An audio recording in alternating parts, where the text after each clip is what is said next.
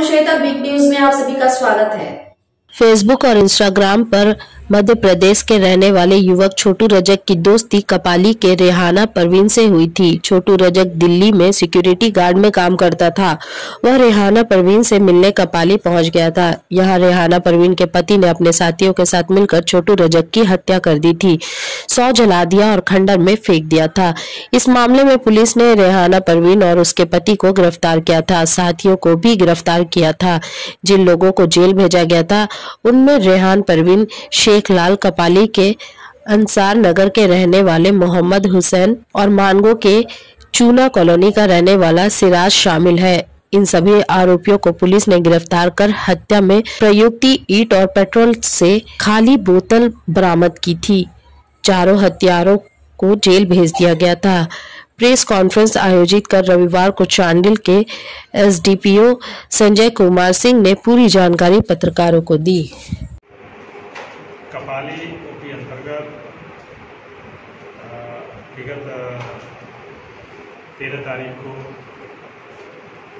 एक हत्याकांड हुई थी। उसी केस के सिलसिले में आज जो है चार गिरफ्तारियाँ हुई हैं।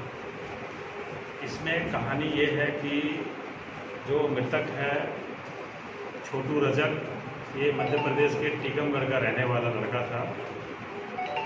और ये इंस्टाग्राम के माध्यम से कपाली की रेहाना नाम की लड़की के साथ दोस्ती हुई थी एक साल पहले, जो शादीशुदा लड़की है। रेहाना प्रवीण कुछ दिन पहले उसे जाके दिल्ली में साथ में ये लोग दोनों 20-25 दिन साथ में भी रहे और एज ए प्रेमी प्रेमिका के रूप में। और फिर बीच बीच में कभी जमशेदपुर में आके लड़का रहता था और ये भी मिलती थी इसी क्रम में अभी हाल में से 9 अक्टूबर को रेहाना ने उसे बुलाया। बुला के घर में तीन चार दिन रखा और रखने के बाद रेहाना के भाई हुसैन, मोहम्मद हुसैन, रेहाना के जीजा मोहम्मद सिराज और रेहाना के पति शेख लाल ये तीनों ही कपाली क्षेत्र के और आज़ाद नगर के रहने वाले हैं। साक्षी थाना अंतर्गत बंगाल क्लब से जुबली पार्क जाने वाली रोड पर बीजेपी कार्यालय के सामने रविवार की रात गर्भवती महिला से चेन छिंताई की कोशिश हुई है। सिद्धगोड़ा के रहने वाले पिंटू मजुमदार अपनी पत्नी संगम मित्रा के साथ साक्षी घूमने आए थे।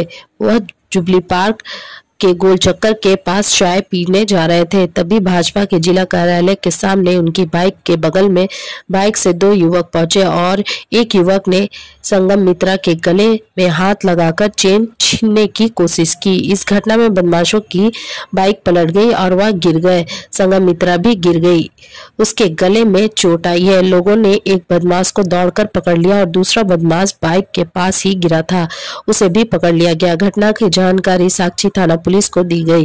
पुलिसकर्मी सलमा फ़ौरन मौके पर पहुँची और दोनों बदमाशों को पकड़कर थाने ले जाया गया और उनसे पूछताछ की जा रही है। रहे थे दोनों कहाँ जा जा रहे थे? हम लोग यहीं जस्ट चाय पीने के लिए जा रहे थे। हाँ। उस बीच में हमारे जस्ट बराबर हमने यहाँ रुके।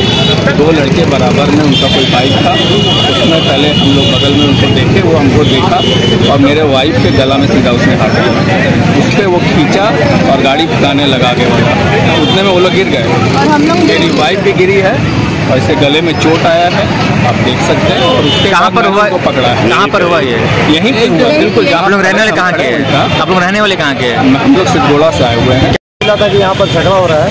तो हम लोग पहुँचे तो यहाँ देखे कि दो एक लोग ज़मीन में गिरा हुआ था और एक को पकड़ पकड़ के रखी हुई थी। तो किसी ने बताया कि ये लोग किसी लड़का चिंताई कर रहा था। इसे पकड़ के पीछे में लेकर खाना भेजा गया। और उसके साथ इसे गाड़ी को बरामद हुआ गया। क्या चिंता की बात हाँ हाँ महिला के चाईबासा में स्टाफ फेयर इंजीनियरिंग युवती के साथ गैंगरेप के मामले में ऑल इंडिया महिला संस्कृति संगठन ने आंदोलन शुरू किया है। ऑल इंडिया महिला संस्कृति संगठन की चंदन बनर्जी ने सोमवार को साक्षी में एसएसपी को ज्ञापन सौंपा। यह ज्ञापन कोल्हान प्रमंडल के डीआईजी को संबोधित है। इस मांग की गई कि सभी दोषियों को जल्द से जल्द गिरफ़्तार कर उन्हें कठोर सजा दी जाए। ज्ञापन में कहा गया कि इन दिनों महिलाओं पर अत्याचार बढ़ रहा है। इसको लेकर सशक्त से सशक्त कार्रवाई की जाए। चाईबासा में एक सॉफ्टवेयर इंजीनियर लड़की के साथ सामूहिक बलात्कार की घटना दो तीन दिन पहले ही हुई है।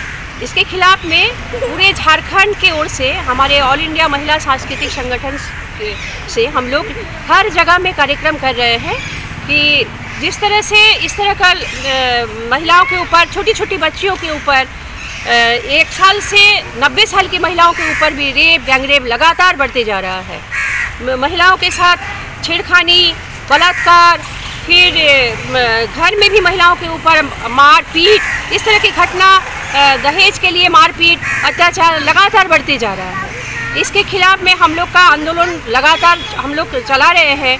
आज हम लोग पूर्वी सिंहभूम जिला की ओर से यहाँ पर एस एसएसपी के पास आए हैं कि इस तरह की घटना जो बढ़ रही है इसको अविलंब रोक लगाया जाए। इसका जो मूल कारण है शराब का जो लाइसेंस दिया जा रहा है हर तरह का शराब का दुकान हर तरह से मतलब शराब का दुकान लगातार बढ़ते जा रहा है। फिर अश्लील सिनेमा साहित्य का प्रचार प्रसार बढ़ रहा है। फिर पोर्न साइट खोला जा रहा है। इसको अविलंब रोक लगाया जाए। ये हमारा डिमांड है। आज के लिए बस इतना ही। बिग न्यूज़ के पूरी टीम को दीजिए इजाज़त। नमस्कार।